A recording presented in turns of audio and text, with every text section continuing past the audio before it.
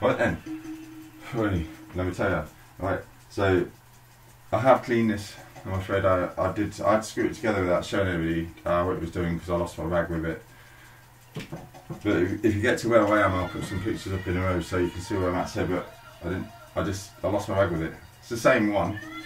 It was snapped and everything. So like.